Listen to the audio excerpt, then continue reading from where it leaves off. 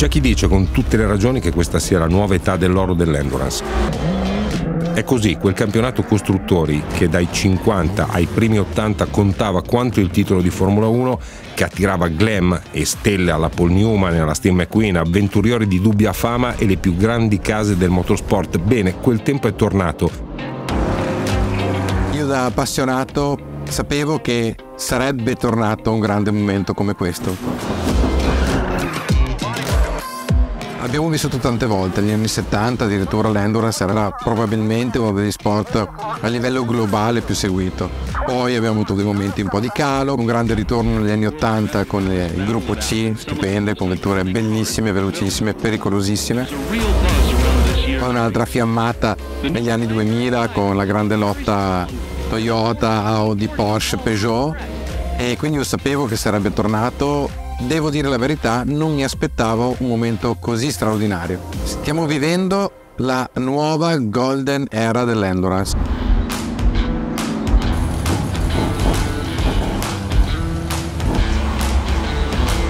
Qui da noi con la Ferrari che vince di nuovo Le Mans nella categoria regina.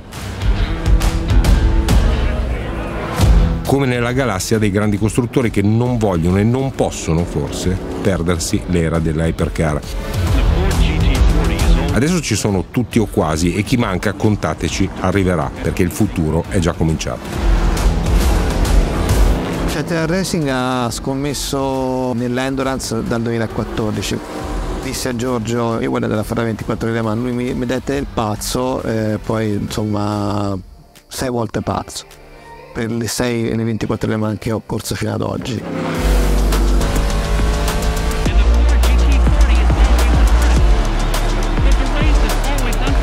Mia prima vera 24 ore è stata con Cetilar nel 2021 con eh, l'LMP2 e da lì ho intrapreso la strada verso il mondo endurance. Cetilar Racing sicuramente ha avuto un ruolo fondamentale in questo programma per me perché mi ha, mi ha dato la possibilità e l'opportunità di conoscere questo mondo che mi ha subito appassionato e, e da lì la nostra storia sta, sta continuando. In realtà poi è diventata oltre quello che si, che, che si poteva immaginare. Avere 10 case costruttrici ufficiali impegnate nella top class, una categoria GT ipercompetitiva, ecco questo va assolutamente al di sopra delle mie aspettative. Il prossimo anno ci dovrebbero essere circa 24 hypercar a Le Mans nel mondiale endurance. Credo che nessuno avrebbe mai potuto immaginare una cosa del genere.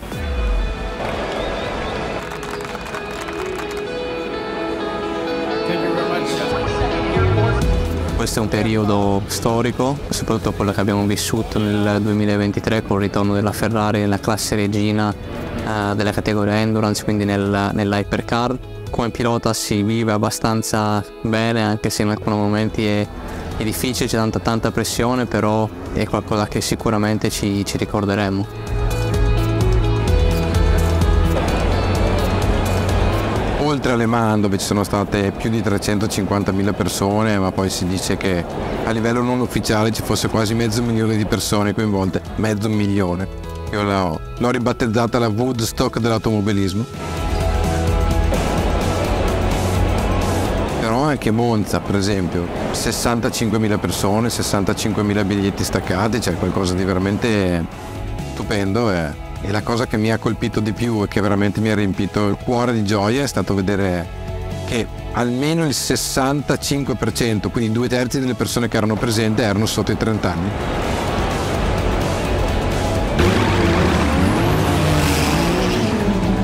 L'endurance dà di più devi metterci componenti aggiuntive e ti dà emozioni eh, aggiuntive. Non c'è il singolo ma c'è l'equipaggio, ci sono i tre o i quattro piloti che guidano la macchina, la componente delle crew, meccanici tecnici che si dedicano alla vettura è molto importante perché devono dedicarsi alla vettura per 24 ore, devono mettere le mani sulla vettura 30 volte nella stessa gara, c'è tanto di più e quel di più è la parte più preziosa, cioè il fattore umano.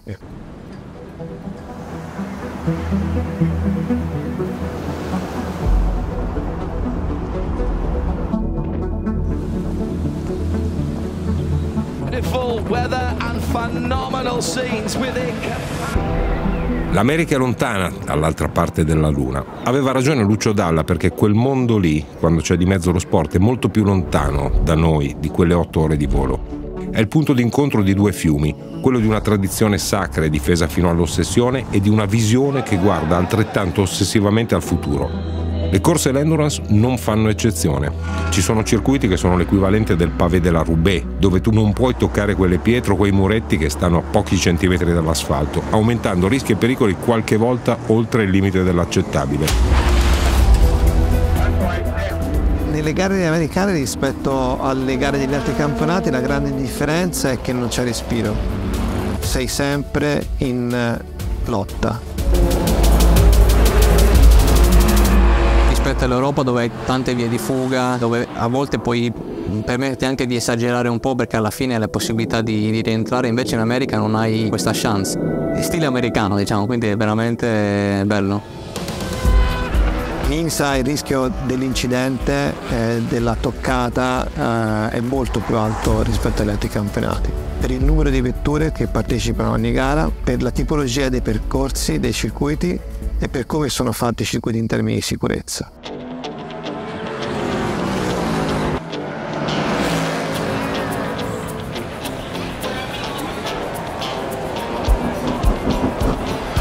C'è il popolo delle corse che non è fatto di semplici spettatori ma di persone che diventano parte integrante dell'evento, che si impastano con le macchine e i piloti senza limiti di accesso, senza filo spinato, senza porte blindate dalla security.